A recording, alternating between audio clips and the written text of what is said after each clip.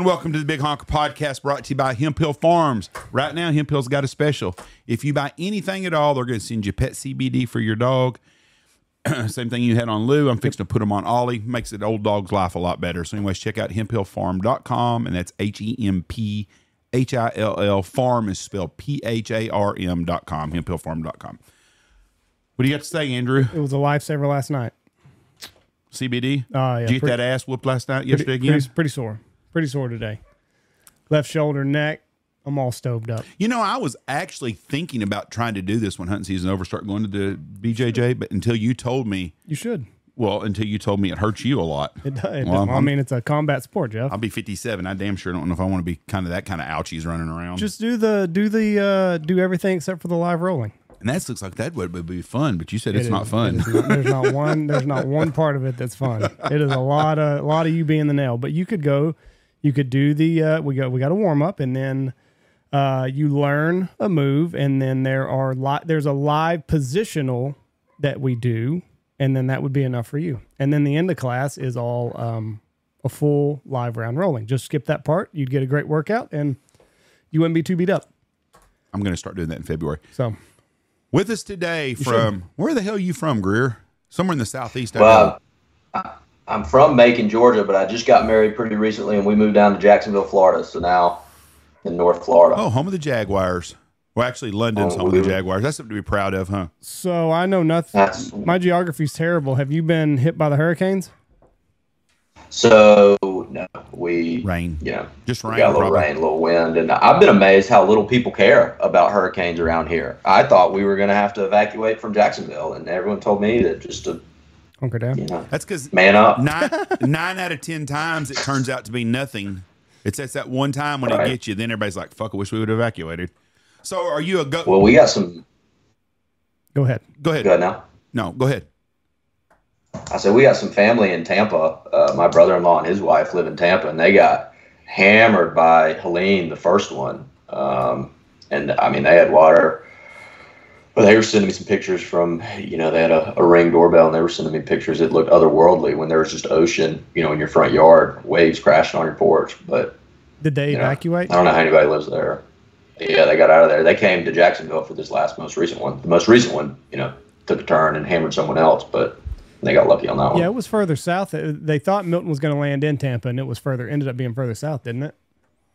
Mm-hmm. I think it in Sarasota is where it made landfall. I'm working on my Florida geography. I didn't. I just thought it was all, you know, New York Junior, and then I moved down here. And now my opinion of it's having to shift a little bit.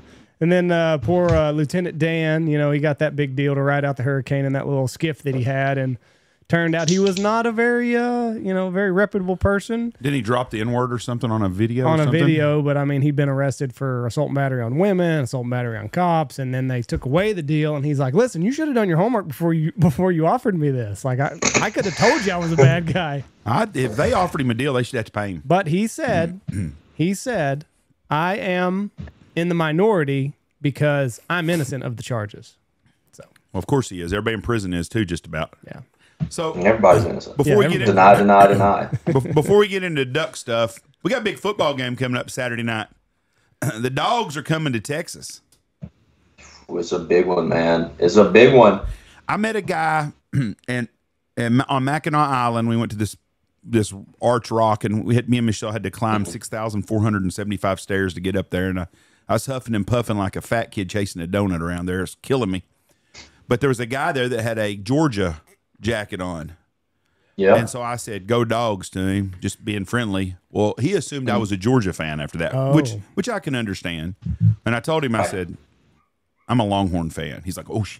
he goes, can't talk to you. he goes, "We're going to play three times this year." I said, "That's it's a possibility. We How? could play this week, play in the SEC championship Oh, game, okay. and then play in the national championship game." Right. But there's a got lot of football pl- played between now and then, but. It ought to be a pretty good game. What's your prediction on the game? I know you're going to pick Georgia. It- you have to. well, I mean, obviously they're gonna smoke them in Austin. it's the first time they've ever played in Austin, isn't it? Yeah, I don't know about that smoke them shit though. What the new Dangles. the new rankings came smug 'em. out today. Texas Where- is one. I know. Texas is one. What's do you know what Georgia is? Oregon was two. I bet they're four or five. They were five last week, I believe, which is about right. That's where they should be right now. Yeah, no, but number five. it- one of my one of my pet peeves about the college football thing is I'm a really good fan, and I got my Georgia stuff back here. You can see it on the I screen back there. I got some stuff. Um, I'm a really good fan. I'm a really reasonable fan, and like a lot of fan bases are completely unreasonable. If you don't win 13 games, it was a waste of a year. Like I came out of the Alabama game, and I like really liked this team because they were just getting creamed in the first half, and it would have been easy just to roll over. You know, they came roaring back. They lost, but I mean, I came out of that game like being really excited for the team, and so I, Georgia's got they got Alabama, they got Tennessee, they got Ole Miss, they got Texas, they got Florida. They play Clemson. I guess super tough schedule, but I mean, I'd rather them do that and lose two of the games than play UMass 13 times. That's no fun. I I'll tell you my prediction in the Southeast Conference. Uh, whoever wins this game, I think, is going to win the Southeast the, the, the championship or going to go to the championship game for sure. I think these probably are the two best teams. But Texas A&M's a lot better than everyone gives them credit for. They had a hiccup against SC or Notre Dame beat them the first game of the year.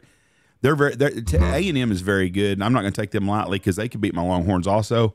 But I I predict that Alabama's coach will be fired within two years because I don't think he's near the coach that Saban is, which nobody hardly is. But I do not think he's gonna, Right, a I do not think he survives two three years in Tuscaloosa.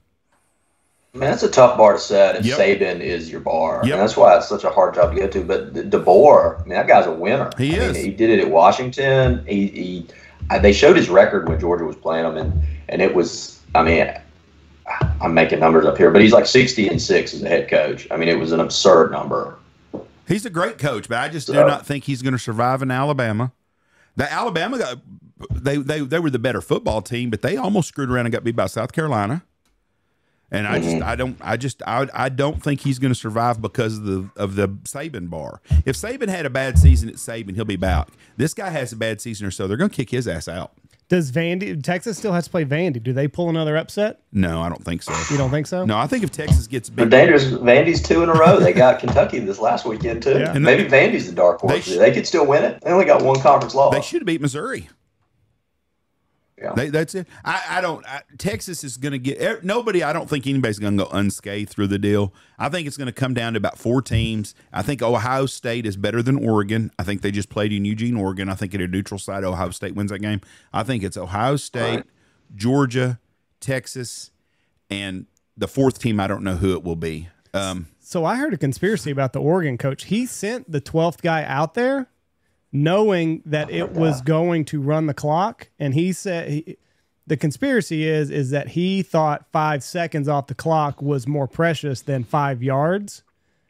And I guess the clock started to roll after that and the the uh, Ohio State quarterback didn't know that. So really yeah, I'm watching the game, and all of a sudden there's seven seconds left in the game. I'm like, what the hell happened? It was 22 seconds a minute ago. and then he ran the ball. Yeah, Like, that that was a dumb play. What are you doing here, kid? You It's got tough. It, it all starts happening really That- quick that- there at the end. If Dan if Dan Lanning put twelve people on the field, then give that man coach of the year Yeah, right no now. shit. Right. That's next level. uh, Ohio State is an, is another place I don't understand. I don't understand why anybody in Ohio State would be like wanting to fire Ryan Day. The guy has done a remarkable job there. He's he's not a jackass like Urban Meyer. He's done a really really good job there. But if they don't win the Big Ten, they're like, well, we're going to get rid of him and get somebody else. Who the hell else are you going to get? You know, Saban's not going to Tuscaloosa or going to uh, Columbus. You know, Urban Meyer's not coming back. You got a great coach that you're the top five team every year. I think so many of these schools have unreal expectations that if they don't win it all, and the people in Lubbock, Texas are the same way. They got rid of a great coach in Mike Leach, but they would have won 9, 10, or 11 games every year, and that's a great bar for Texas Tech. Yeah, but they had to the optics.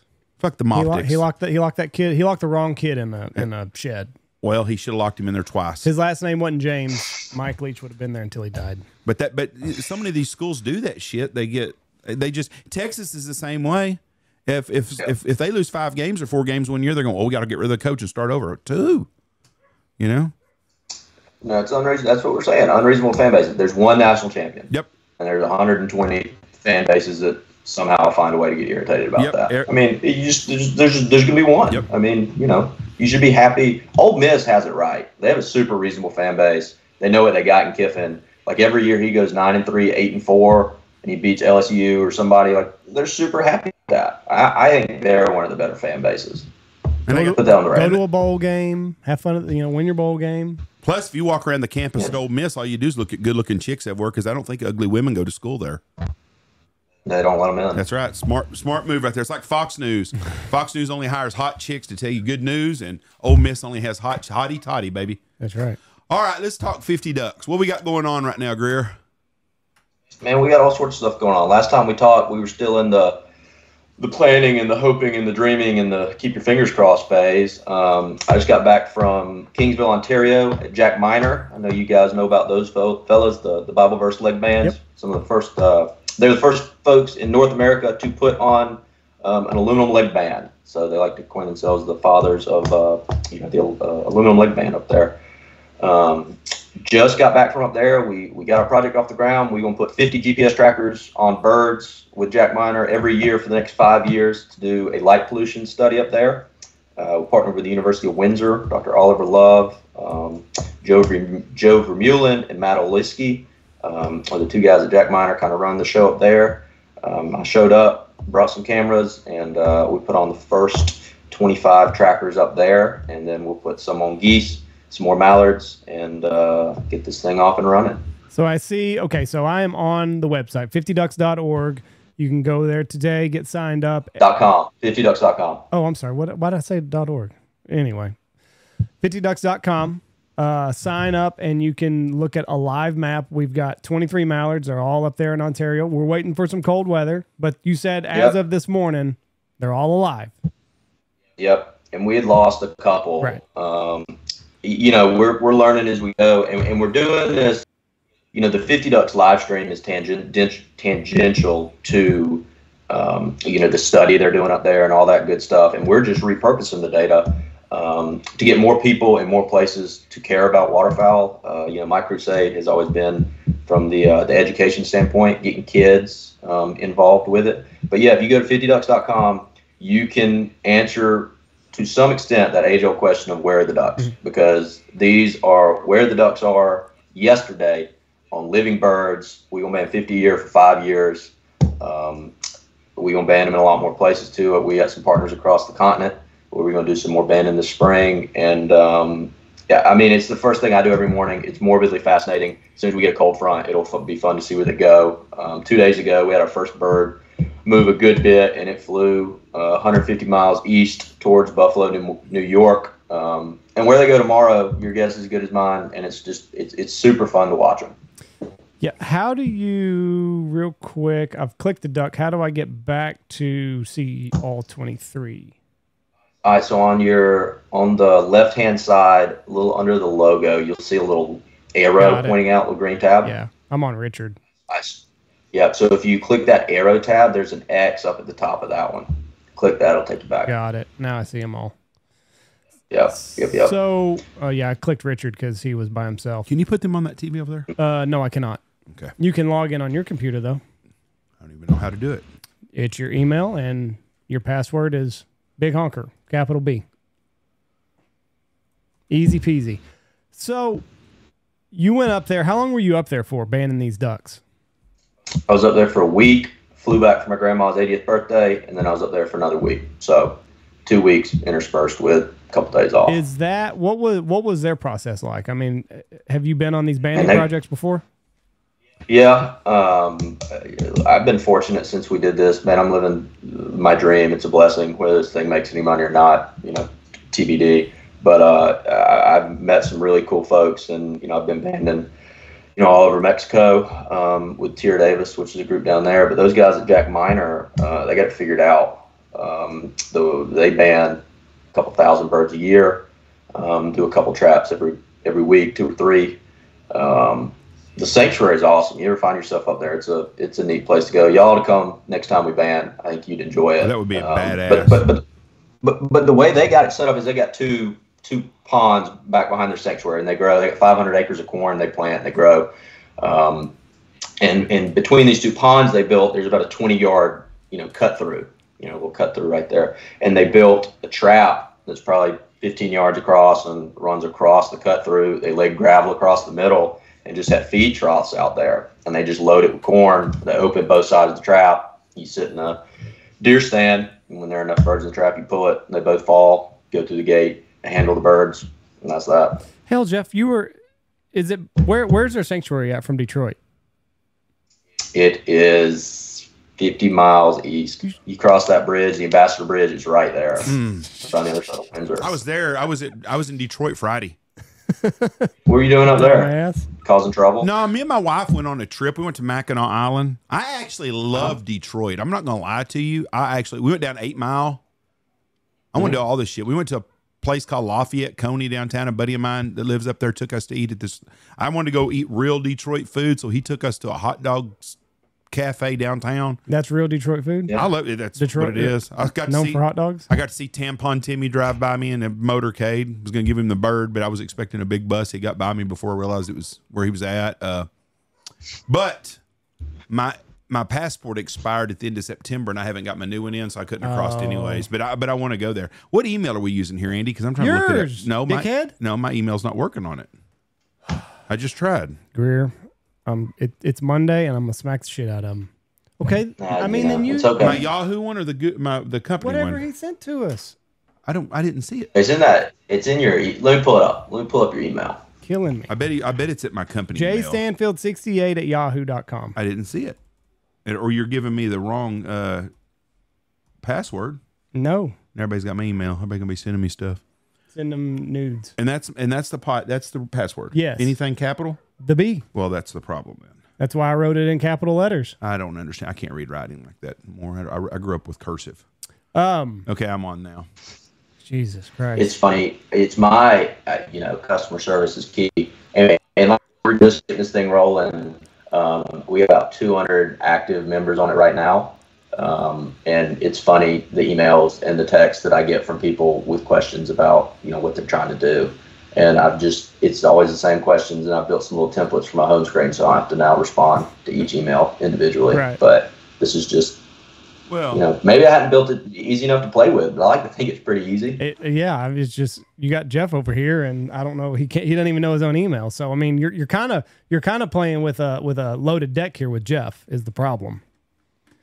Well, I'll be honest with you. My dad was my, um, who's super involved with this. You know, his passion for waterfowl is is through the roof, uh, and his understanding of technology is not. And so he was the test subject throughout the whole building praise. Like I would send it to him, and if he couldn't do it, we had to make it easier. Right. And so we were fighting this fine line with what my dad was able to use the computer for. let me tell you. so we got it where he could do it. I'll tell you something funny.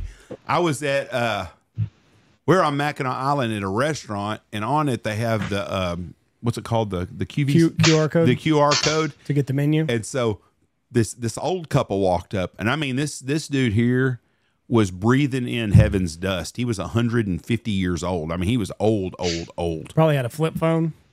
He pulled out an iPhone. And he told his wife, "Now, gosh dang it, all you got to do is." and he knew exactly what he was doing. So I was watching him do it, and I thought, oh, it does work really well Yeah, that way. doing. But he, he could have given a tutorial. But that's what I was Right. expecting when he walked up. I thought, oh, these poor people, I'm gonna have to sh- use them, give them my phone, let them have show them how to get the menu and stuff. And bam, he knew what was going on. And I'm telling you right now, this guy had to be over seriously 90 years plus. I mean, he was old, old, old. Mm-hmm.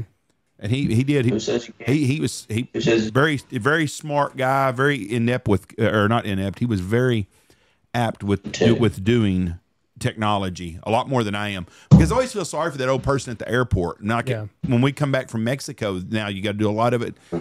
My my dad would have had hell doing that shit. He'd be my dad would have been stuck. He'd have been hungry because he'd have never figured that shit out. Yeah, I'm taking my grandfather, like I said, to uh, Lubbock here later on today for a doctor's appointment. And if we had to go to a restaurant that required that, he would He wouldn't eat. he, would, he wouldn't make it. Luckily, I'm I'm going to be there for him, kind of guide him. So are all these It's pictures? tough. Are all these pic- like we got a picture? I see a picture of Richard. Is that actually Richard? That's Richard. There, there is there is no creative licenses taking so far.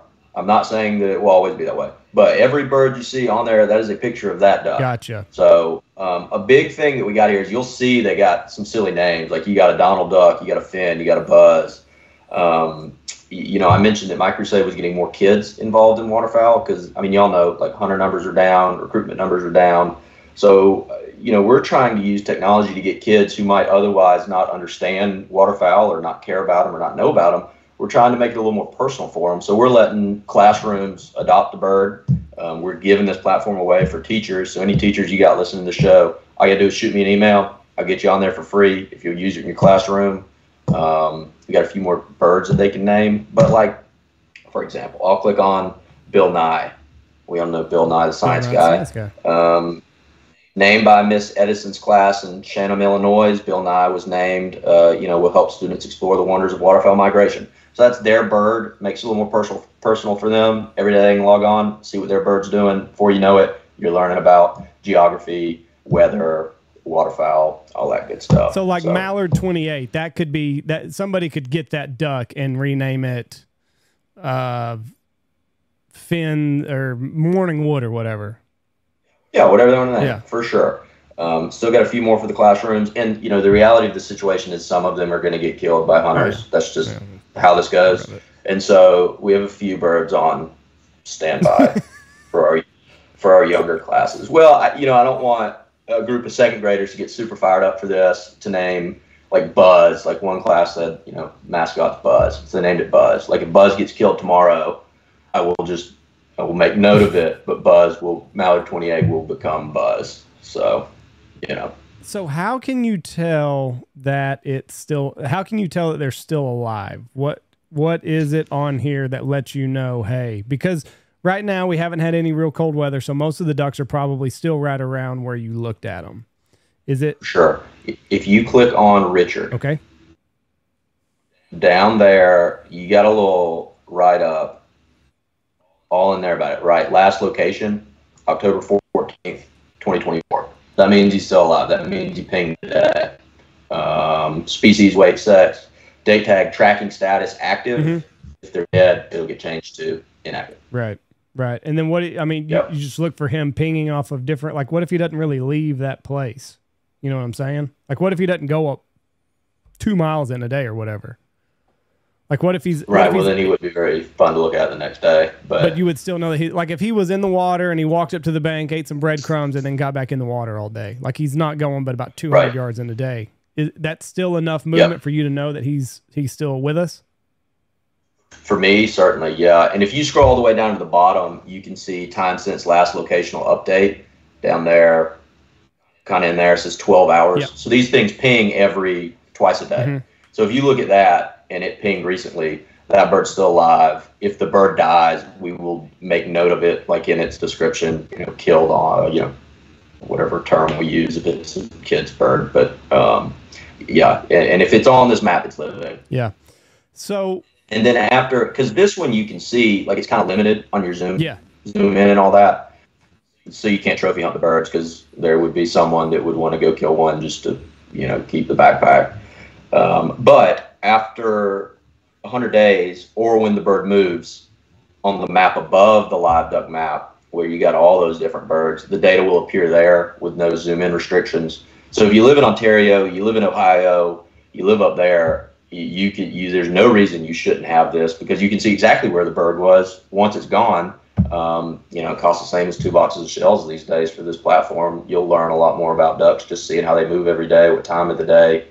Um, you know, it's morbidly fascinating. Okay, I got a question for you. I'm looking at this map, and you've got Eurasian widgeon. sir. you've got two of them.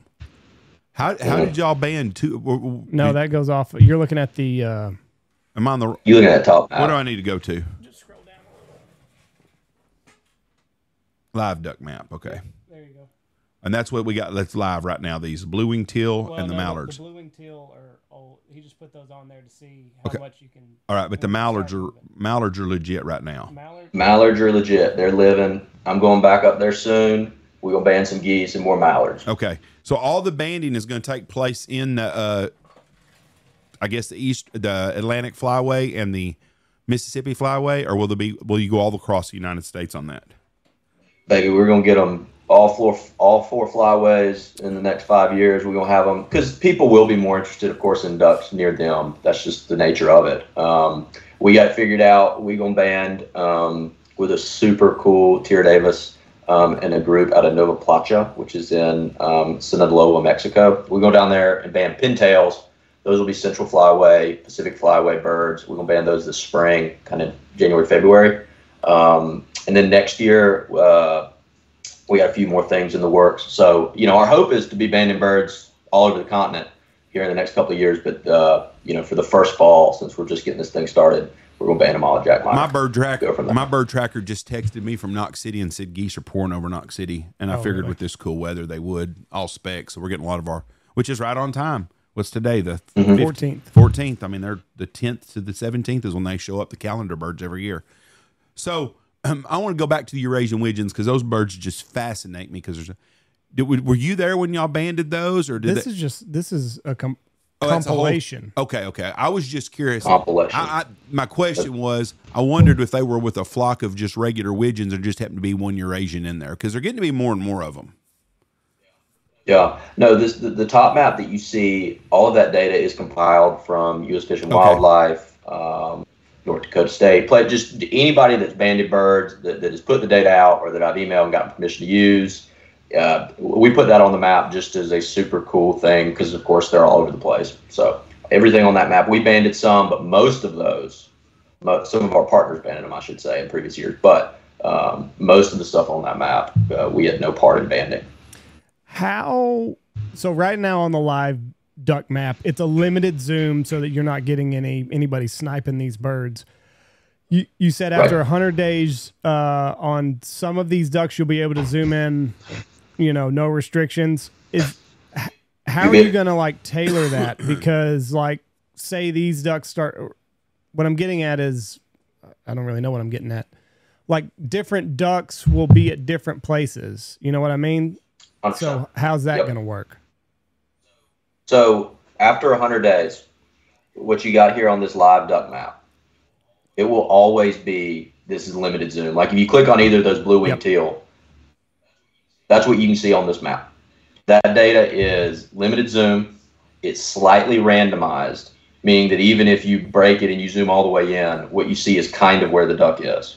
So the data's been moved around. It's been randomized just a little bit, and it's from yesterday. After 100 days, if you go to this top map, it'll appear up I there with no zoom in restrictions. So 100 days from today, you will see today's, and then the next day you will see Tomorrow. tomorrow's. So you'll get it from 100 days prior. Gotcha. Gotcha. But that won't that won't Yes, be on the live duck map. It'll be on this top map. Yes, sir. And if you see, there's a filter where you can go to active, so you can just filter it to the active birds on your top map if you want to just look at where those mallards Right. are going. Got it. Got it. So it's going to be interesting to see what these ducks do. You know, like if they cross flyways, these mallards that are up in Ontario right now, like if if we see any of them that come to the central fly, it's all going to be super interesting just to see like if they stay in in the Atlantic flyway, if any of them shift, if they go back there the next Right. year.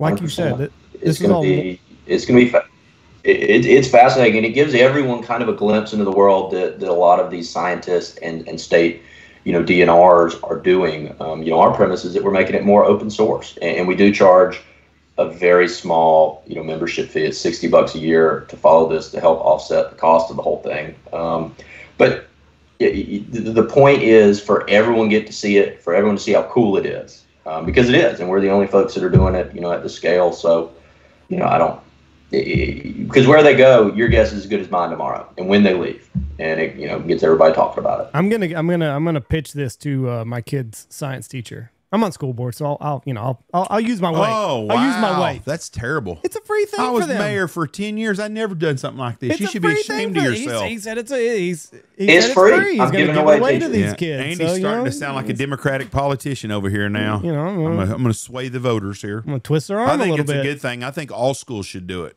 Well, we're- There's no reason you shouldn't do it, especially if you're Um, gonna give away a there's duck. no You can teach kids about geography, science, biology, the whole thing. You're get your cross. It's a great thing. yeah. And by God, from being around people that, that were raised in Knox City, my wife, geography is not her strong point. So it would be really good for her on geography. Well, I didn't know where Jacksonville was, so It- Well, there you go. So Well, there you go. But the ducks wouldn't help you there. But it, it is neat just to see distances from places. You know, like I wouldn't have known that Ontario, Kingsville, Ontario, is about 300 miles from Buffalo. Right? I would have had no concept of how far that was, and you have no concept of how far it is from Mexico City to North Dakota, stuff like that. But once you start getting, you start looking at the stats and you see where the birds go. Um, I mean, I've learned a lot about it. I'm not embarrassed to say how little I knew about it until we started doing it. So that one's. My problem neat. is, I think I'm going to get attached, attached to these little bastards. You know what I mean? Like, ah, oh, shit. Richard, Richard left us today. it, it, we, it, it, and that's why for our younger classes we do have a few you know on standby so that they don't have to go you don't have to broach the subject of death with a second grade class um, but that is just the reality of it is that some of them are going to die we're going to do some spring banding as well so that you can get a good bit um, and that'll be neat to see the birds in you know in kingsville in the spring you like if they're going to the prairie potholes where they're going if they're different birds than are there now um, and you know jack miner's got 100 years of band returns but uh, you know they had a goose killed in california wow a bunch of birds killed in Texas, right? Um, a bunch being we've never killed one as a percentage, but we've we've that's a that's a, that would be a huge trophy. I only know one person has got here, and it's that little midget Justin Hill, but he's killed every kind of weird band in the world. So I think he's. You bet he might have bought it. I've found out recently there are a bunch of people buying no, bands Justin, on eBay. Justin's I don't not understand. that kind of guy. He wouldn't buy one, but that's just the way he is. He's the only person I know out here that's killed a. Well, he didn't kill it here, but he killed a banded whistling tree duck. So, anyways, he's he's he's doing pretty good for himself. Little bastard. Some people have all the luck with that, and all these ducks have uh, Jack Miner bands on them. Yeah. Well, they shockingly they do nope. not. Um, the law in Canada is you can only put two markers on a duck. So they have a backpack, which is marker one, and they have a federal leg mm. band, which is marker two.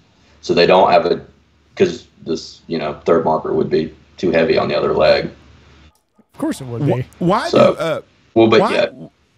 What, why is the survival rate so low on banding? I understand the neck collar birds; a lot of them don't survive. But why just leg bands? Do there so many of them not make it very long? Is it because people touch them, or do they go to shock, or what's what's the deal there? I'm not sure. I'm not okay. sure I follow. Do, when they when they neck collar birds, a lot of those birds don't survive very long. Is that is that false or is that true? I've never heard this. I have heard. I mean, I, making, you talking about the, the geese. geese. When they neck when they right, put so the transmitters. They had the problems initially where those neck collars they were doing were holding moisture and they would okay. freeze and it would kill the birds okay. that way. They fixed okay. that. Uh, but yeah, that was killing them. That was killing the shit out of birds. Um, but they fixed that. That was a, a they, everyone realized what was going on there and they quit because it would just hold moisture and then ice would form on it and okay. kill the bird. That, that, so that's what the problem not, was. No longer just the banding on the legs and stuff don't affect nothing at all. Then no. Okay. Put me on record. Other than just being an easy target. Yeah, I mean, I you know, you band hunters. I guess if you're looking for bands on legs, um, yeah, you can't see the backpacks though when they're in flight. You can't see them. What? You can see the band a lot better than you can see every, backpack. Every time I go by, and I did it last week. Every time I'd see a bunch of geese somewhere, I'm looking at the legs. Driving down the road, looking at legs. Every, that's right. That's it's a waterfowl yeah, hunter. I mean, if you're you're not something's wrong with you if you're not. Yeah, and I'm, I'm, I'm not going to sit there and shoot one with a 22. I know some people do that, which I disagree with strongly, but I do like to see them and just go, that one's banded. I mean, we all do that. Mm-hmm. We were uh, when we went and hunted with St. Lawrence uh, St. Lawrence Outfitters in Ontario. We were mm-hmm. going to go fishing, and we we were launching from a, a little park. There were more geese there that were banded than geese that did not have bands. It was I've never seen that before in my life. I was in, I was in heaven. It was just fun watching them walking around and like, oh shit, that one's banded, that one's banded, that one's banded. Well, those local geese up there around Jack Miner, I mean, you know, they're your your park geese. Like every one of them is banded. Mm-hmm. So it's funny to see those. And it's funny at Jack Miner because I was sitting there looking at them, and you had a group of geese on the right side of the road and a group of geese on, on the left side of the road. I said, "What's going on here, Joe?" Joe Vermeulen's their, you know, head of their master bander and their head of grounds up there. He said, "Well, these geese over here they're local geese, and you can feed those geese out of your hand. He said those geese over there are migratory geese, and they won't let you get within 100 yards. So. Oh, really? See, that's, interesting because uh, where we hunt in Oklahoma, where we used to hunt in Oklahoma, they'd all roost in the town park. They'd roost there, and mm-hmm. then they'd go out into the field and they feed, and then they go back to the roost. But like, if they were at the park, you could walk up to them, feed them, but if they roosted mm. on like a stock tank or whatever, you couldn't even drive by them without them blowing up. And it's like it's the same geese. Yeah. You just roosted at a different spot that day. So it's crazy how they know where they're safe and where they're not safe.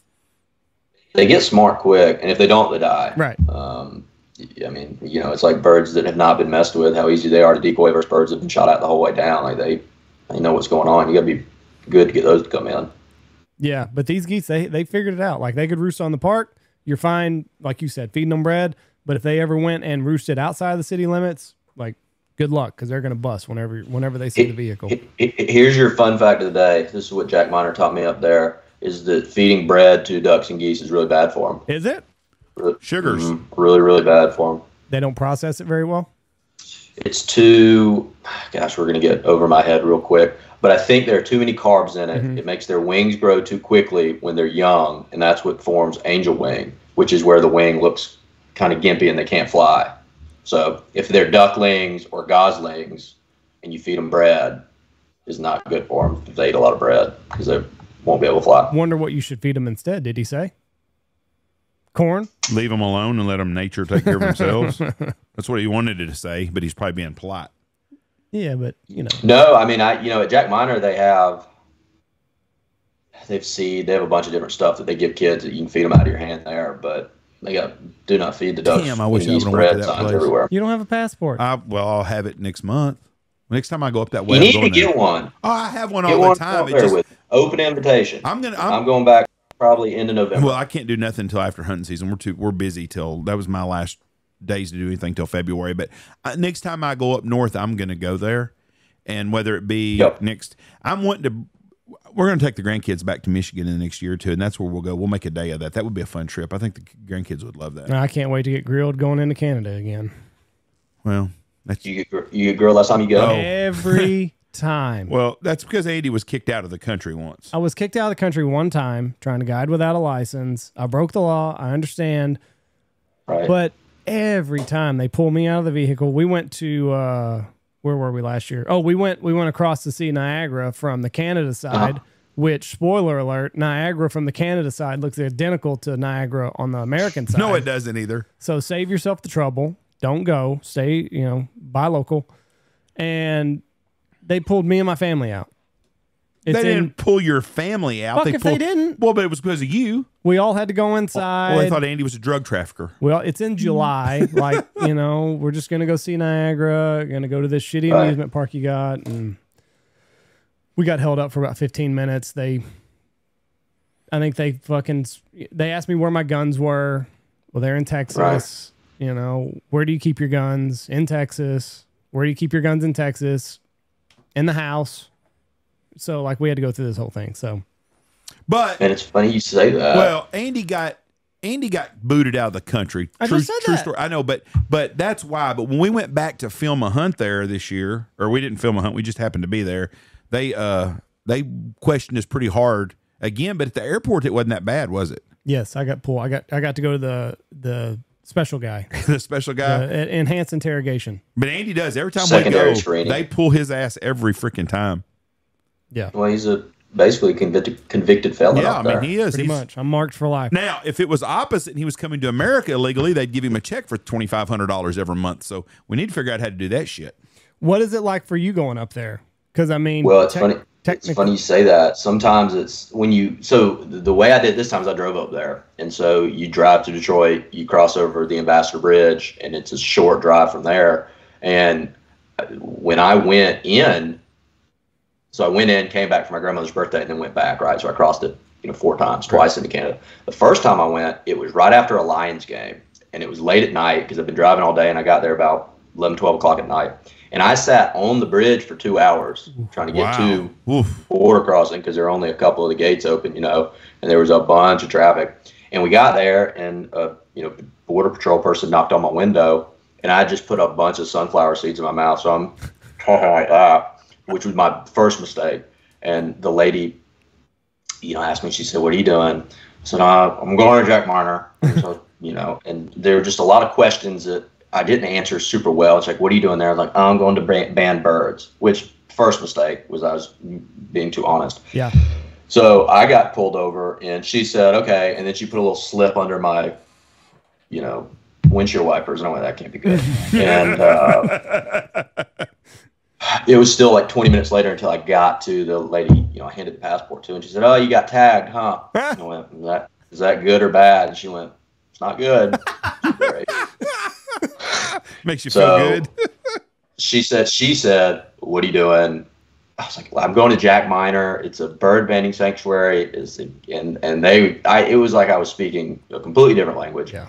So I got pulled over in secondary screening. Um, they turned, they searched the car. They searched it to an extent where they took the floorboards out of it. They opened all my luggage. They went through my clothes. Wow. Yep. And the, the tailgate on the truck backed into the fence pretty hard, so it's kind of wonky. And on the inside, it's open, like it, the panel has come off. Mhm. It's like what you got inside those panels. Oh shit. like, you're uh, nothing. You're welcome to look. And so then they sent me inside, and it was at this point it's midnight, one in the morning, and they said, "Well, do you know anyone? Can we call someone at Jack Miner to verify you're coming?" I'm like, "Well, I have these text messages."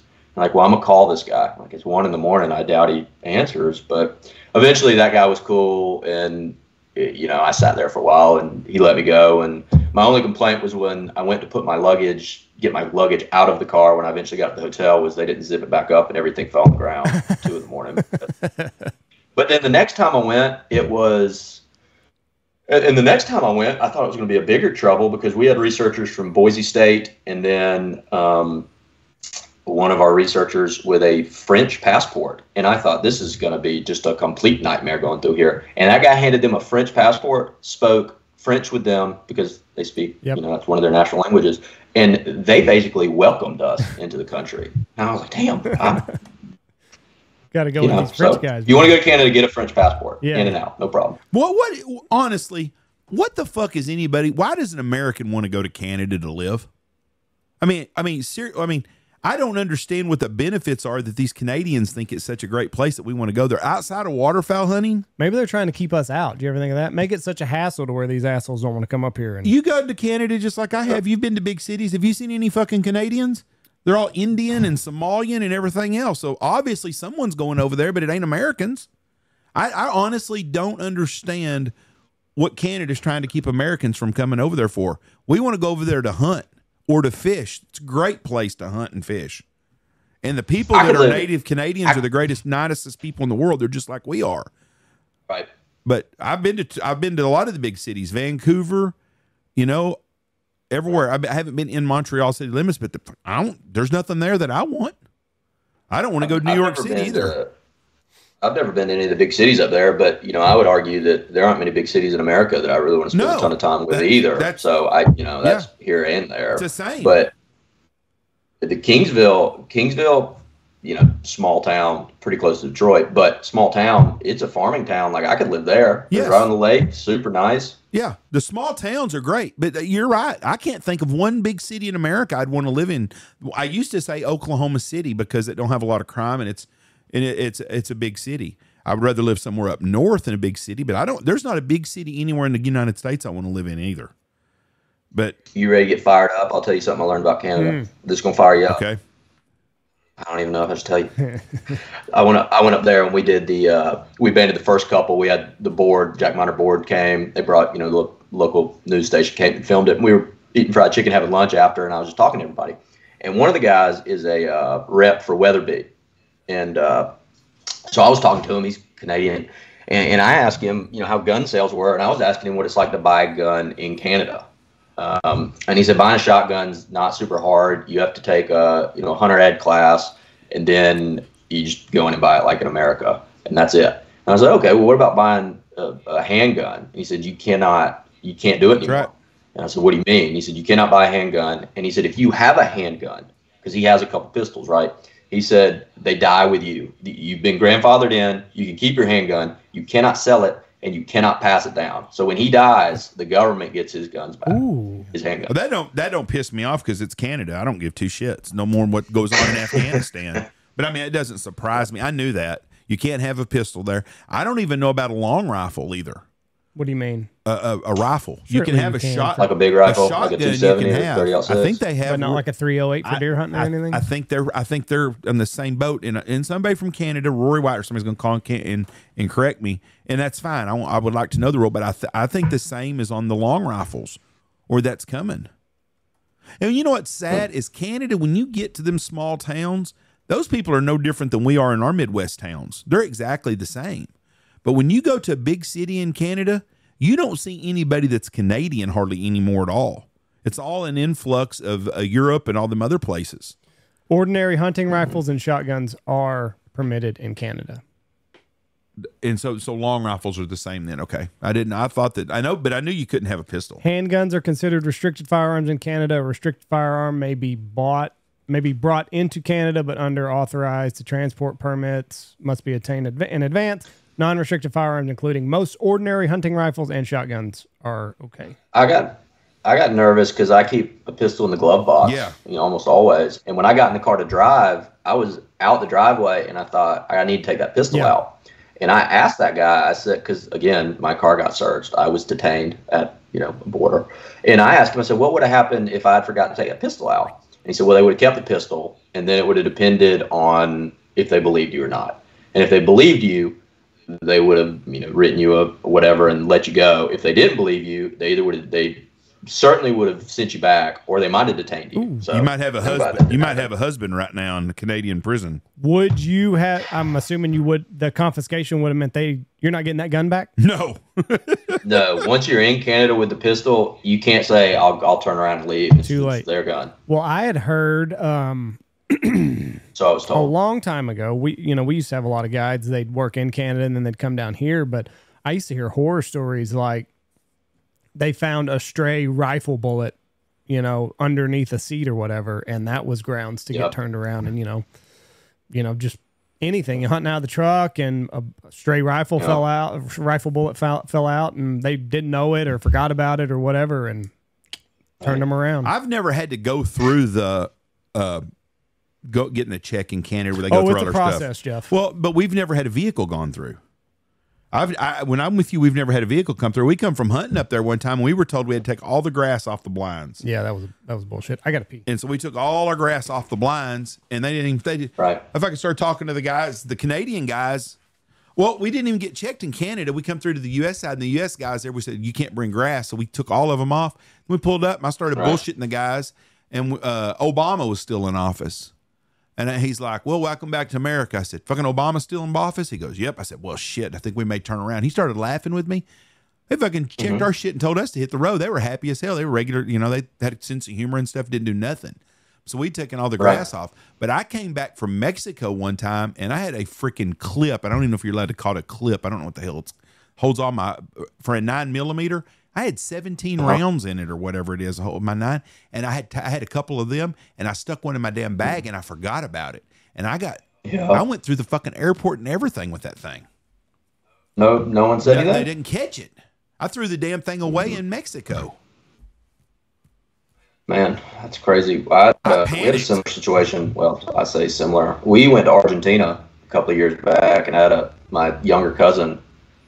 He's probably 15 at the time, but he wanted to bring one of the ducks back from Argentina, and he he wrapped it up in his waders and put it in his bag to fly back to America Oh. with it. And you have never seen such a problem. And of course, I mean, you can't. Well, the, the main thing they put is animals, livestock, you know, stuff like that. It's on all the signs. And here he's got a duck in his waders. So that was quite the headache. I've never done that. Michelle I always scare her because she's a snack queen. She believes she if we go somewhere, she takes snacks. And she like in the morning, she'll Yeah. have crackers and stuff in the room. So she always takes snacks. So every time we go to Mexico, she takes snacks and put it in the, the luggage. So we're coming through and it says no food, blah, blah, blah.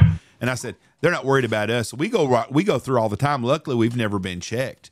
But she always brings snacks. Right. I really don't think they're gonna say nothing anyways. They're sealed up crackers and cookies and stuff. But uh yeah, they get what they they can put you in jail for that shit.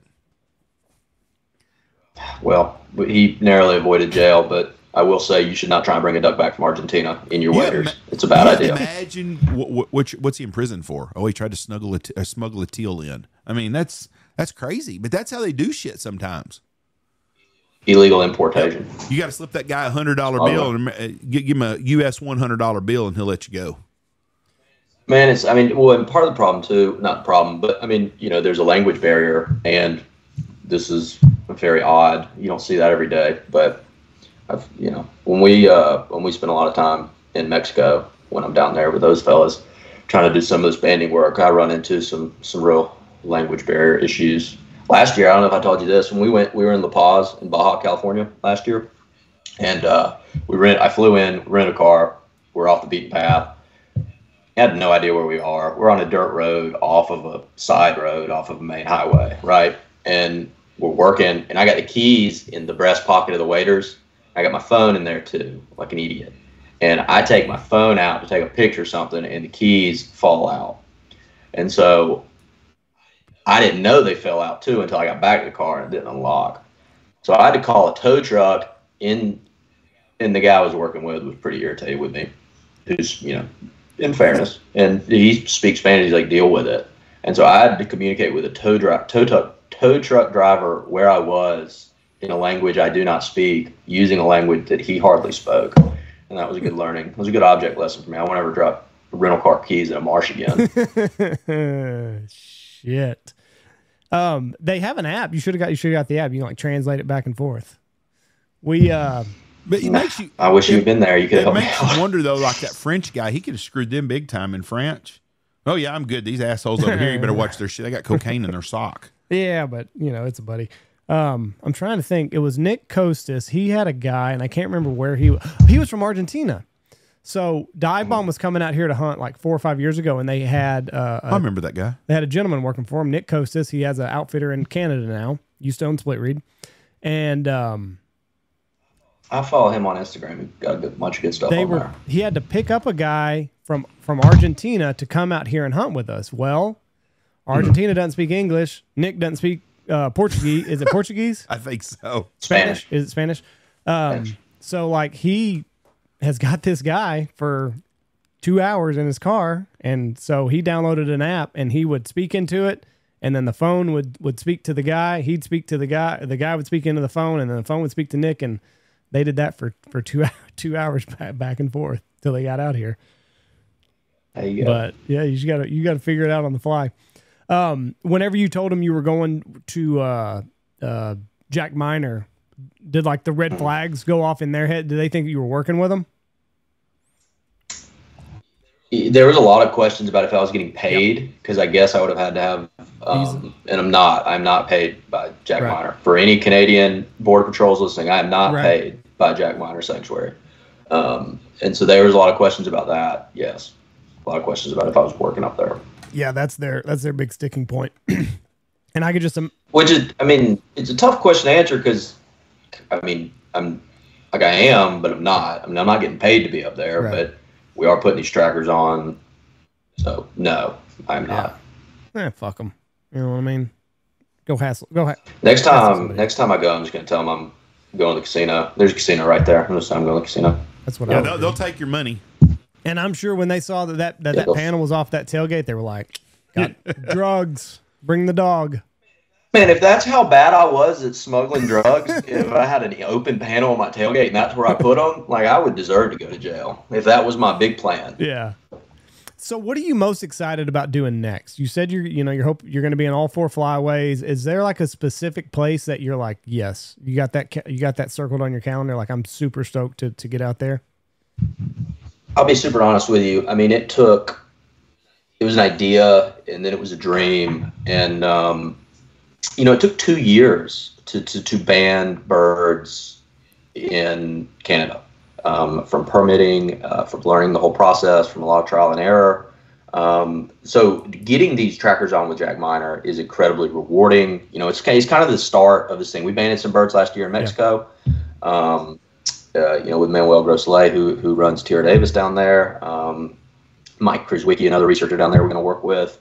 Um, but, but I hope what we're able to do with Jack Miner, one, is raise them some money. Two is is get this thing to pay for itself um, and, and make a lot of good with kids. I said we want to get this in front of 5,000 kids in five years in 5,000 classrooms. Um, you know, where we're able to ban in the future, I don't know.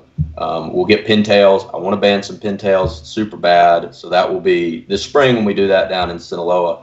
That'll be super rewarding. That'll be kind of another chapter checked off. Um, and then, you know, I hope that once it gets going and, and, and we're doing what we say we're doing, and this is you know, from a good place, you know, like this is for a good thing. Um, I hope that more of these researchers will be willing to to join us, um, and we'll be able to really kind of blow this up with a lot more ducks in a lot more places. Yeah. Um, but I want to ban some birds in the prairie potholes. I will do that. That I, I want to do that. I think those would be maybe the most fascinating birds. I want to ban the snow goose. Um, I want to strap a camera a camera to a, a goose's chest uh, and live stream that. That's a little ways That away, but um, not as far as you think. Um, my guy Manuel, he says that that's not far away at all. So um, I, there's a lot I'm excited about, and I don't know where it's going to take me. And, and, you know, I'm still on the fence as if it can be a, a full time career long term. Uh, but I fully believe in it, and I hope so. So just you know, every day is a blessing. I get to do mm-hmm. it. So you know, I'm just excited to see what comes. Have you back. ever seen that Nat Geo film? And I, and I don't remember which one it is. It's it's on Amazon or Netflix. And the guys, eh, they put cameras on the gray lag geese, and they show them in Europe, and they show them flying and the migration, and it, Yeah. it- they they and they land in these little villages, like in a farmer's lot, and he's got feed outside of his house, and then. It shows them landing some decoys and they get shot, and one of the other ones gets shot and stuff. It's really a neat, neat deal, but it shows the goose and everything. Such a cool view of it, but it's a camera on one of them. and that's what they're they're right there on being able to do it on at an affordable scale where you can live stream it. Like imagine how fun it would be to go to the 50 Duck site. We get a bunch of cool stuff, but if the first thing you saw is a true live stream of a goose flying somewhere or being fed bread out of his hand, think of how attached you'd get to that thing when it got shot, if it got shot. That You'd would be be, like trying to talk to I- it. I- You'd be Do like what? trying to talk to it. No, them bastards are hiding in that grass right there. Don't land there. I mean, it would it, it would be tough if you saw an A frame and the goose was circling. But this video shows that. It shows the goose next to him crumple up and die. I'll tell you what, uh, yeah, that would that would that would hurt my heart. It's a it, I'll tell you an unintended consequence of what this is this has done for me, which whether it's good or bad, I don't know. But you like I've grown up duck hunting and, and going to a lot of places to duck hunt and, and it's it's starting to get tough for me to shoot a duck because I'm holding them so much and I'm on this pursuit to catch a you know a pintail and put a tracker on it. I'm putting these trackers on the mallards. Like I know how I feel when someone kills one of our track birds. And uh, I'm not saying I don't like to do it. I'm saying there is like that pendulum starting to swing maybe a little too much that way. you're getting older too because I have that in me now because I've I don't I don't care about killing much stuff. Uh, I got to helicopter hog hunt the other day and um I made sure every pig that I shot and I didn't shoot a lot of them but I made sure they were dead. I didn't want to, I don't like to see nothing suffer now and I just I look at things different Right. as I've gotten older. And I think that's just a level you go through in age. When you're young, you want to shoot everything, and then you then you want to hunt everything, and then it becomes a trophy hunt basically. And then you get where you just rather Right. see an animals. And uh, my, my nephew Right. told me the other day that uh, my brother in law is getting that way. He would rather just look at deer than shoot them, and he used to love to shoot everything. You just, I think it's, I think it's an age deal. You respect life. Life is precious, and we don't, we don't realize it as much until we. And not everybody young doesn't, but as you get older, you know your days are less and less, and you appreciate life more. And I, and I think that's a lot to do with it, is an age thing. And that's what's amazing to me when I find an older guy like Pat Pitt. Pat likes to shoot the shit out of ducks. Still, he loves it. It's his passion. And and my dad was Right. that way. My dad never got to that point where he just wanted to see shit. So some people are different, you know. Yeah. They want I but And there's nothing No. wrong. There's nothing Not wrong with that not- at all. nothing I mean, at I'm, all. Yeah, and it's just it's the progression. I I think it call it. They talked about that on the Standard Sportsman. I don't know if you heard that. They talked about the five stages of a hunter, and that's exactly what their whole podcast was about. About how when you're young, like everyone's a bloodthirsty killer just because you're a kid, and that's what's fun is pulling the trigger. And then you kind of mature, and then you know I think the last phase was you you just like to take other people to get them to experience it. Um, so and it's it's it is true, and, and you need people in all of those phases to to perpetuate the sport and to you know enhance the resource. We got to get more people into the first phase. Is part of the thing. Is we need someone. We need more people to get to that first phase See, I and then graduate. I've them. only guided, so like my I think I started out in the second phase. You know what I mean? Like I mean, mm-hmm. I've only done this professionally. Like there's there's not Right. many times that I've gone out and it was just me on a personal hunt and me pulling the trigger. So it's like I started out on on the second phase of I got to do this for other people. But Right. um, and I mean, you know, there there's there's different pressure. You know, basically once once you call the shot, like it's out of your hands. You've done everything you could, whether that is getting the bird to 50 yards and you know that that's the best you're going to get, and you got to get you got to Right. put some birds on the ground, or you know the ultimate goal is to decoy them all the way. But um, I've started out in the second phase, but now, so it's it's kind of natural for me to uh, take my boys out because like that that's all Right. I've ever done. I've I've only taken people out, so now Right. I've got a nine year old and a six year old, and the nine year old really really he's starting to really enjoy hunting. I've taken him out on a couple dove hunts this year, and a lot of those light bulbs are starting to turn on in him. He's in I that. can see Ki- he's in that killer instinct. He's in that killer. He's in that killing stage. He's in that. Hey, and it's fun for you to watch Yeah. that. Like you're super into him just having fun, whatever that means for him. Mm-hmm. And so you'll do what you can for him to do it, and that's great because he's on the path of being a lifelong yeah, conservationist. yeah. But it's always funny because we'll see that bird fly over at seventy five, and he's like, "I think I can get it." It's like, no, no, you can't. no, we're going. We're you're, you're going to learn your limits here, kid. That's a twenty gauge. But uh, he, you know, we, we shoot boss out here, and uh, we, he's got he's got a little twenty gauge Mossberg, and I think he was shooting like sevens or eights or nines from boss, and I mean just. He smoked a couple dove, and you know more and more confidence is starting to get built up in him, and with that confidence, you know that seventy-five yard shot, he's like, "I think I can get that, Dad." It's like, no, no, we're, you got to you got to learn your limits here, bub. Shoot or Shoot or shoot, shoot, man. There's 100 percent of the doves you don't He's shoot gonna he's gonna he's not afraid to take that shot. But um, Well, he, why would he be? He's not paying for the shells yeah, either. exactly. He hadn't paid. He's he- we, we call my wife and I we call the kids uh they're our broke friends. We got to pay for everything that they fucking do. They're, they're our broke buddies. We can't get rid of. Got to pay for every That's dinner, funny. shotgun shells, hunting license, everything. It's all God, that's And those are, those are just your kids that are bro- your broke friends, right? Yeah, yeah, they were Okay. broke friends. Yeah.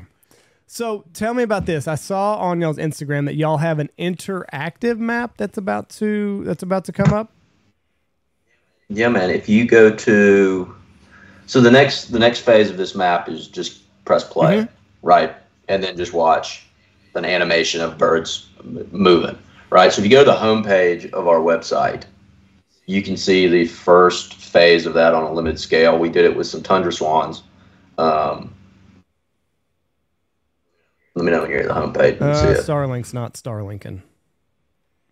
I might have to. Uh, let me see here. Elon's a busy man right now. He is. He's busy landing rockets right now, and I've got the little spinning wheel. So let me just start from scratch here. But so what we want to do is is where every bird on our map, I want to be able to hit play, and you can watch all 1,350 of those birds move. And that way, you know, it can be inter- interactive, and you can zoom in, and you can do all the stuff you can do now. But you can also just sit back and you know just see it visualized, which will help people better understand the flyways and where birds are coming, this, that, and the other. And so that's the next big step we have. Um, and like on our homepage right now, we've got a little teaser for what it'll look like on some scale So just let me Okay, i am can get to on that the homepage. Yeah, just scroll to the top and you'll see that what looks like a map. You'll see all those birds fly from Alaska to the Outer Banks to California, everywhere in between. Okay, where where do I go? Hold on a second. I'm at the I'm at the top. Just the home page, scroll to the top. Okay, Just I think I'm there. Oh, I see I see the 50 it- ducks tracker is what I'm seeing. mm, Oh, I don't on, think you're hold on the right second. I don't think I'm on the right thing. There we go. Okay. hit hit hit Yep. that icon top left. Yep, I see it. Oh, okay, yeah, yeah, yeah, yeah. Yeah, so that's that's So on a limited scale, like. I want the all the birds to be like that. Well, that'd be badass. And then you'll be able. Would you be able to like customize that to whatever you're wanting to see? Because like like you said right now, it's all tundra swans. For sure. For sure. If you go to right now, if you go to our in that tab at the top, it says resources. If you hover over it, you go to waterfowl center. Mm-hmm. You click on that. That'll bring you to, which is a good. This is a good thing for kids too. Like it has all these species: American wood, cinnamon teal, greater white-fronted goose, right? Got all that jazz. If you click on blue wing teal, it'll give you a little write up of the bird, and this one's got its animated map up there. So it's got the move tracks of a bunch of blue wing teal. So if you come to this page in 30 days, you'll be able to see it on a species by species and watch this animated movement go.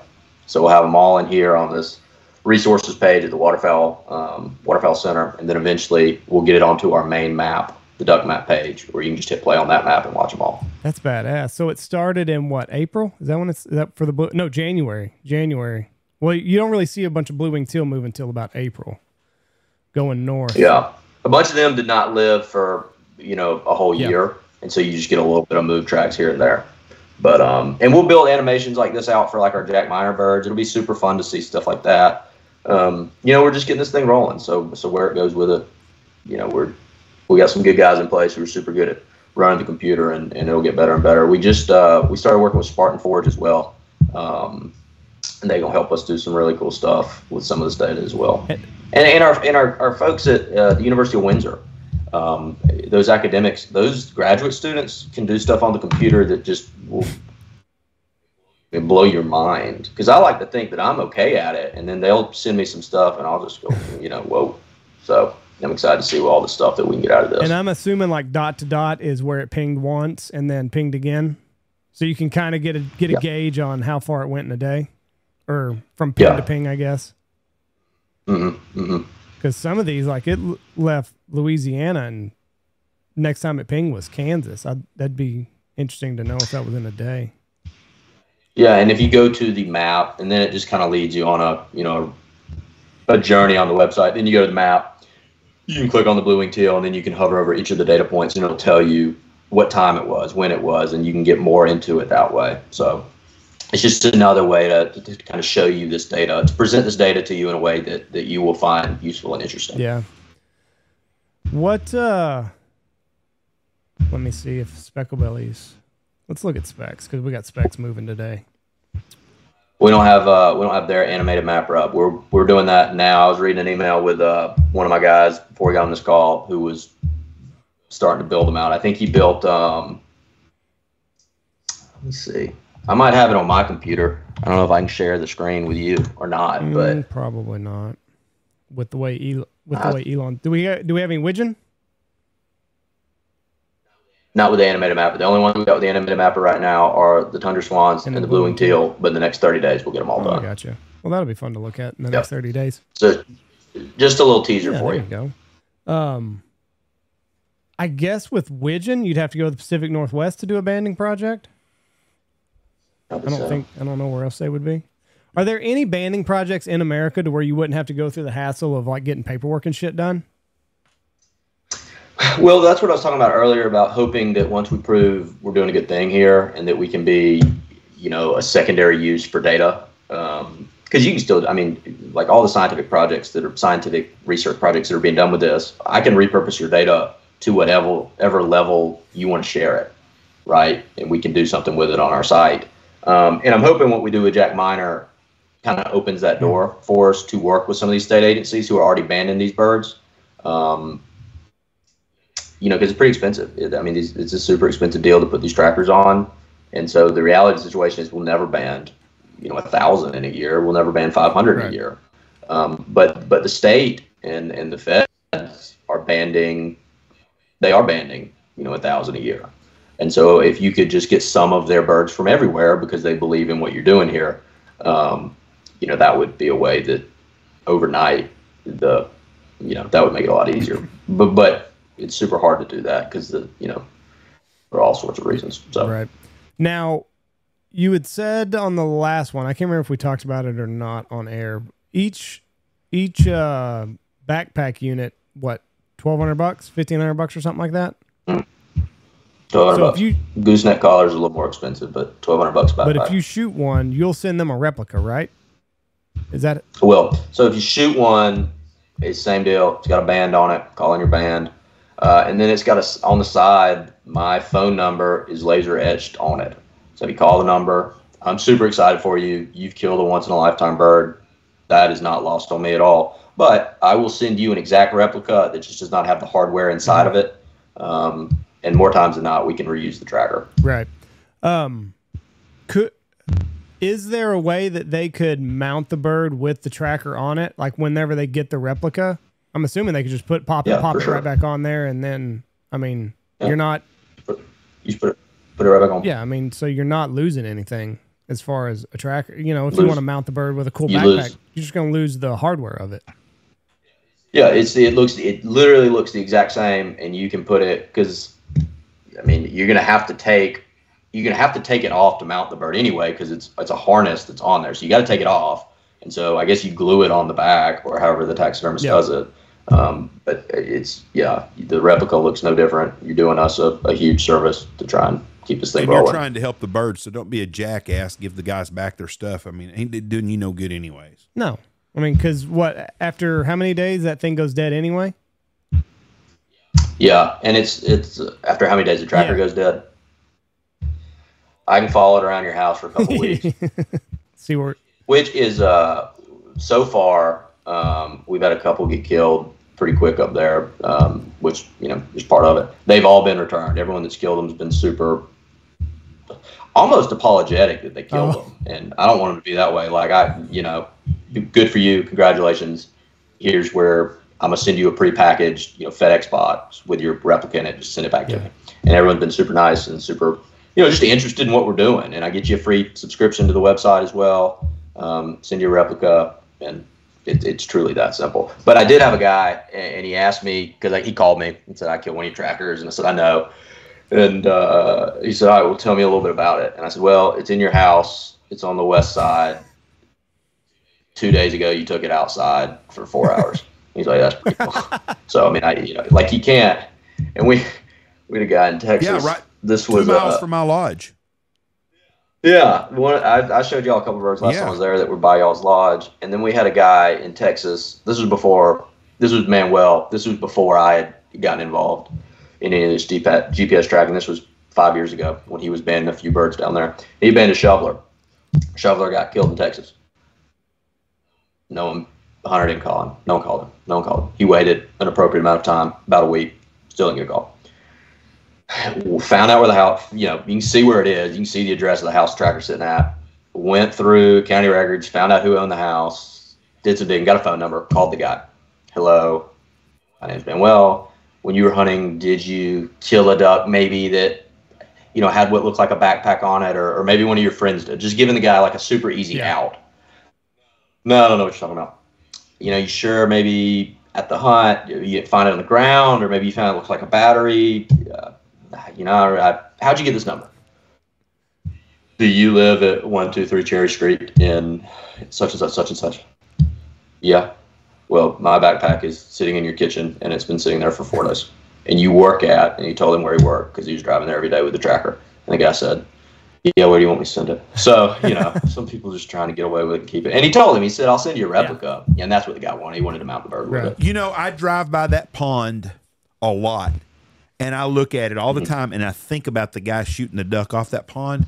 I've never seen a duck on that pond ever. And I drive by there during hunting season. That's our way home from scouting. So I, I drive by it 70 to 80 days at least during duck waterfowl season. I've still never seen a duck on it. I look at it every day and it just blows my mind that, and I don't even know anybody that would hunt on the thing because the guy that owned it just passed away and he wasn't a hunter. I don't know. Maybe pass shot it. I I, I have, but who the hell would just stop and shoot a damn shoveler off of a fucking pond right there? I mean, if you saw the pond, it don't even look. There's not a, there's not a weed or nothing in it. It's just a tank that they put water in for cows. And but like I said, I've never seen a duck in it. And we sh- we hunt a peanut field right next to it, and we kill a ton of birds right there. Geese, not many ducks. Not not not very many ducks. We kill a lot of. ge- Yeah, we don't ever shoot ducks over there. There's no water over there. It's just crazy. Is the uh, are the regulations in Mexico to do a banning project as strenuous as the ones in Canada, paperwork wise? You know, you know the answer to that question. No. Just show up. No, you, no. I, there are regulations, and Manuel is um is super respected there, and and so he no, and, and their setup is much better. Like their turnaround's quicker. Um, could I get a license in Mexico? Probably not, but could any credible, you know, national there do it? Certainly. Yeah, So it's just it's Mexico. it's just easier. I mean, well, it hit their process is, um, you know, and, and we have a super great relationship with CWS Canadian Wildlife Service, and they've been super helpful with us like what we need to do differently to get this off the ground. And I got nothing but love for them because they're giving us a chance. They're giving Jack Miner a chance. Um, you know, their turnaround time on this stuff was was was it took them a long time, and they got a lot coming through their office, and you know, I get that. Um, uh, but down there, the rule is, I think here, I think in Canada, the rule is they have three months and it's six months or 60 days before the project starts, whichever is later, for them to tell you yes mm-hmm. or no or to ask you questions. That's a long time. Um, in in Mexico, they have five days to pose a question, and they have 30 days to issue a response. And if they don't issue a response in 30 days, it's a default yes. And that's their that's their situation. I love Mexico. So they make it um, I mean, and, and, frankly, you know, the the resources down there are like for these. Uh, they're just excited somebody wants to study something and not ask them for any money right. for it. I mean, you know, it's you're like Santa Claus. I mean, we're giving away tens of thousands of dollars worth of equipment for you to do studies. I mean, I don't know why everyone in the country isn't calling me, asking me to come to their state to do right. this. I don't see why I'm not Santa Santa Claus, but yeah. So either here nor there. Because my my point with it has always been you know, I can go shoot birds in Canada, in Saskatchewan, and for 120 days, I can just follow them down the flyway and just buy one federal duck stamp and get a license in every state, kill eight a day or whatever the limit is wherever I am, and that's fine. But if I want to do some, I want to do this, I want to try my do my good with it with this. Like I run into all these roadblocks because I want to put a few trackers on ducks. I mean, whatever. What's I mean, is each each place is just different, and I mean it's just what's been what's been the the hardest? What's been like the most asinine reason that you got for somebody not doing it? Well, you have to be you have to be associated with academic study, mm-hmm. which I understand. They don't just want you throwing backpacks on this, that, and the other. And so with, with Canadian Wildlife Service, what they told us is we needed to be associated with a college. And so we found the University of Windsor. They want to do a light pollution study because they got a bunch of greenhouses up there, a bunch of greenhouses, 5,000 acres in Essex County. Uh, and they put off a ton of light.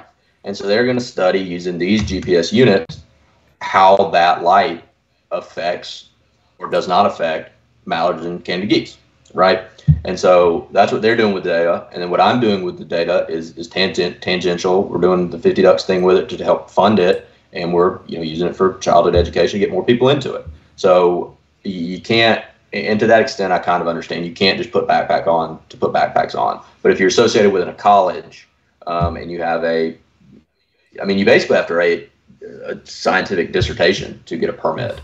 Um, so, I mean, it's a it's a hard process. Uh, the BBL is who does it in the states, and then CWS does it at uh, in Canada. Right, but once you got associated with Windsor, that opened up more doors for you.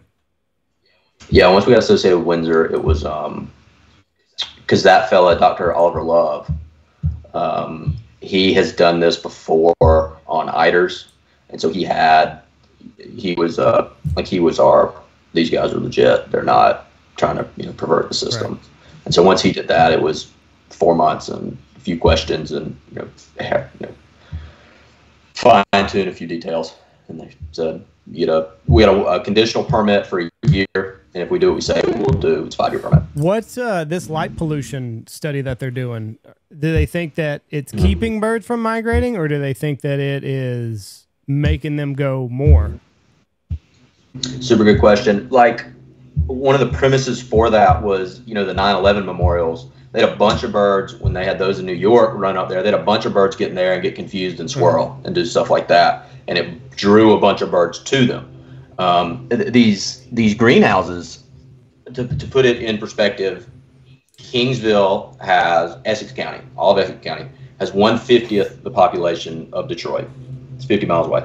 It puts off three times as much wow. light. So it's put off a tremendous amount of light. Um, Kingsville is the furthest point south in Canada as well, in mainland Canada. So it is kind of a migra- migration corridor as well. So there are a bunch of birds coming through there. Um, and so what that does to birds, they don't know, right. right. They don't know if they get confused. They don't know if they come to it. They don't know if they avoid it.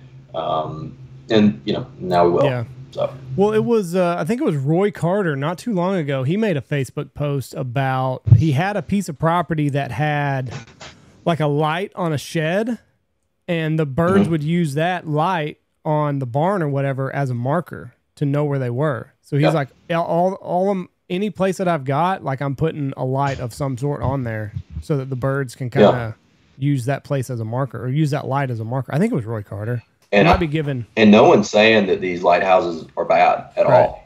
They could be. It could turn out it's the greatest thing for migrating waterfowl in the history of the world. You know, time will tell. But I might be giving him credit where it's not, but I'm pretty sure it was. I'm just gonna go ahead and say it's Roy Carter. Somebody can fact check me on that. Um, throw it out there. I'm throwing it. Good, good job, Roy Carter, on on your observation. So, what else? What else we got going on with 50 ducks? Man, it's just uh, it's exciting to see where these birds are going to go. Um, we're going to do a naming contest uh, with your listeners. We talked about that, which I'm super excited about. Anybody listening, all you got to do go follow us on Facebook, follow us on Instagram, go to the website, and give us your email. We'll pick one listener, and you get to name a duck or a goose, mallard or goose, your choice. Whatever you want to name it, as long as uh, you know we're being reasonable Yeah. with, with what you're gonna name it. Um, you get a free membership as well. Um, we'll put a link in the description of how to do that, and that'll be fun. I'm excited to see what everybody comes up with there. Yeah. So go over that again. Just go to 50ducks.com, put your email in. Yep, down at the bottom of the page, there's an email sign up. I put it in there. Follow us on Instagram or Facebook, and then we'll announce a winner in. Uh, I don't know when you're gonna air. Uh, We'll give this it- will air tomorrow, 15th. All right, we'll give it. We'll do it at the end of the month. We'll announce a winner at the end of the month. Cool. So that'll give everybody a couple weeks. If you're late listening or whatever, you can play along. So yeah, just go down to the very bottom, uh, enter your email. It says email updates. Is that what it is? Yep. If you if you sign up for the website, you get the code promo code. Use the promo code Big Honker. That'll let you me, let me know that you heard it through This. this podcast. If you win, it's free. If you lose, you got a big discount with a Big Honker. So you got to go subscribe to the website. Gotcha. Big Honker. Sign up. Big Honker code. Um, we'll donate a bunch of money back to Jeff and Andy so they can keep the lights on too. But Big Honker's code. Very cool. We'll announce a winner at the end of the month. I'm going to name my duck Sir Jeff Stanfield for the old English descent. Royalty. Yes, that's Roy, right. Very, very regal. Very cool. Is that clear though on how to be in the contest? yeah, yeah. Just go to the we- go to you go to your website, get signed up, uh, do all Use that. the promo code Big Honker, so I know you're in the drawing. we'll do it at the end of the Use month. the promo code big. Anybody that uses the promo code Big Honker is automatically in the drawing. We'll pick it at the end of the month, You're in the drawing. and then you'll get to name a duck. And we have- your memberships Or free. We have tons of or teachers. goose. or goose. We have tons of teachers on here because I get emails from teachers a lot, or, ki- or people that's got kids in school too. Get your classes, Well- especially if you've got kids from eighth grade under, where they're really going to be soaking in some knowledge. High school kids are smarter than everybody, anyways. Sure. But man, elementary kids and some junior hi- junior high's kind of fringy, but still get get them. This is be great. Science teachers out there should be all. Every school in America should have a science class. Should be doing this. You teach them geography. You teach them about biology. It's it's just a great thing right there. So jump on it. Yeah. No. S- Send me an email. If you're a teacher, send me an email. It's Greer, G R E E R, at 50ducks.com. Send me an email. Tell me where you teach. Tell me what you teach. And I will set you up that week with a free account. And like I said, we're going to get this in 5,000 classrooms in five years. That's my mission. So please shoot me an email. Make my job easier. Don't make me find you. Very good. All right, Greer. It's been a lot of fun. A lot of cool things are happening with uh, with 50 Ducks, and I cannot wait to uh, watch and see what all this see what all happens whenever we start getting some north winds. These birds are going to start moving, and that's going to make for some great data. start moving. Go follow the big honker. Y'all got your big honker mallard. There's a search bar in the top right hand corner of that map. You just type in the big honker, and your mallard will pop up, and you can follow him along. He's being pretty still right now. I think it's a, a hen actually. Listen. She's being pretty pretty still right now, but who knows? She might live three years and fly to the North Pole and back. She's she's she's biding her time is what she's doing. Hope hope, Getting, getting all the fat reserves stored up, and then she's gonna make a big move here later. So Stat Arkansas. A lot, lot like Jeff, just just Yeah. waiting for the move, That's Wait, right. waiting for the right time. and Instead, Arkansas, them hillbillies to shoot you. Greer, we appreciate you. Hook 'em horns, go dogs, buddy. Big game Saturday. Wish you the best. God bless you, and thank you for what you do. 50 Ducks. Jeff, Andy, pleasure to be on the show again. Really appreciate sir. it. Thank you, Awesome. Greer. You have a good day. See you, bud. Bye. 50ducks.com. There is no excuse if you are a teacher, if you have kids that are in school, put, you know, put a little bit of twist a little bit of arms here. Outside the box teacher. education. Way to go. real world, real world type stuff. Yep. But um, yeah, super cool stuff. Go to 50ducks.com, become a member of the 50 Ducks uh, website, and then use our promo code Big Honker. You will automatically be entered to win this drawing. You'll get to name a duck. You'll have a free membership. It's 60 bucks a year. That's that's like he said earlier. That's the price of two shotgun shell boxes. Um, it's less than what a duck call cost. You're going to get to follow these birds around all winter. It's going to be incredibly fun to to watch these birds move as we start getting north winds and into uh, this this hunting season. So This could be a- 50ducks.com, get it going. Could be a free willy movie. You know, kids in a classroom fall in love with a duck. They go out there, they jump on the hunters, get mad at them, trying to save little Susie Duck from right. from her demise. Thank y'all for listening to us. God bless y'all. Have a great week. Watch for deer. Go watch. Uh, go check out all of our sponsors. Go check out Hemp Hill Farm. Use our promo code BHP. It has helped me with some of my jujitsu ouchies. Mallard Bay, Mitch Hall, Stanford. Ooh, Stanford Outfitters. Double T British Kennels, Lucky Duck, Mossberg, Looking Glass Podcast, MLR Graphics, Shin Gear, Dirty Duck Coffee, Bull and Briar Leather, Ducks Unlimited, Dive Bomb Entry, Pacific Calls, and Boss Shot Shells.